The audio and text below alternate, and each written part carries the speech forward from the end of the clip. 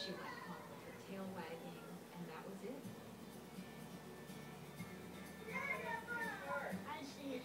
I'm glad you Today, Lola is a healthy puppy who is hampered more than ever from indulging in her favorite snack. We don't let any